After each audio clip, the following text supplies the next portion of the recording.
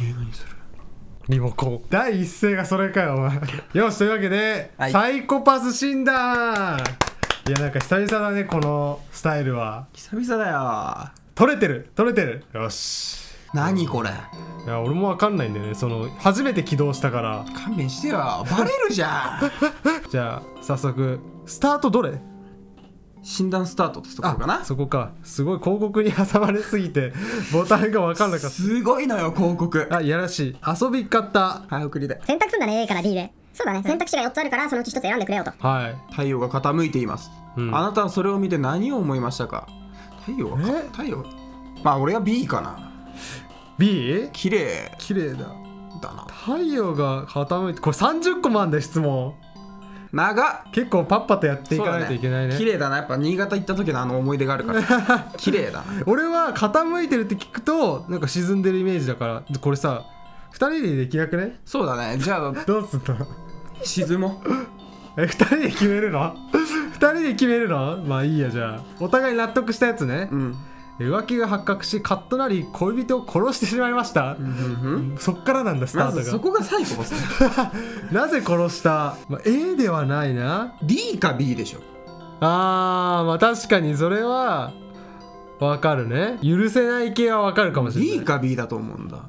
A サイコパスでしょ絶対。これどれ選んでも印象悪いぞ。じゃあ D でどれもやべえな。いやこれ俺らの本心だから。あそうなの。いいのかそれで、うん。清掃員がライオンに襲われてました、うん。えーカメラで撮った、えー一緒に驚き恐怖で震える、うん。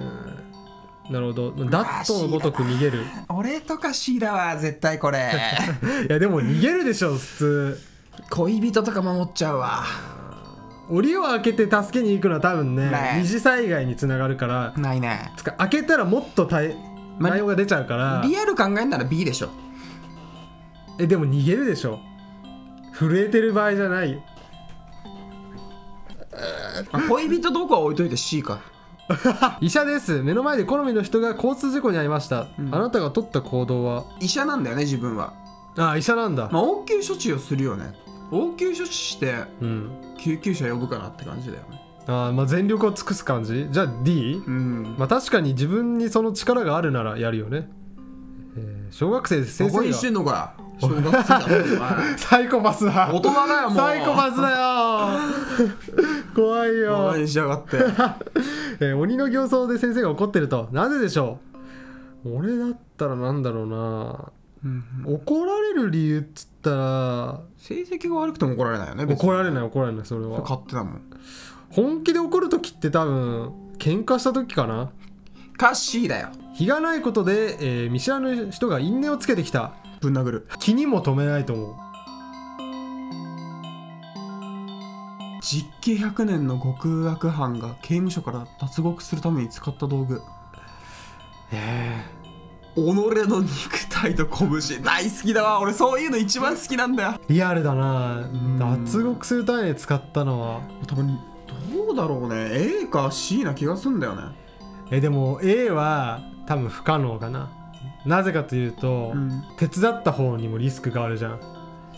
あ確かにそこで働いていく以上ね。うん。C かな？C でも囚人もうん極悪人だからみ信じられない。みんなでプリズンブレイクみたいな。極悪人とは仲間になれねえな。じゃあやっぱ B か？100年あるからうん。B バカっぽいな。B バカっぽい。B が一番好きだけどね俺。D はちょっとね無理があるんだよな。B の好きさ相当よ俺。ハンマーバキを見てる俺としては。どんな手を使ってでも最終的にうん。肉体はと拳は必要になる B か。うん。B は絶対必要。結局ぶん殴って勝てたら一番強いからな。あれ？終わり？ラストラスト。えどうなるこれ？今のがラストか。結局何？己。あー。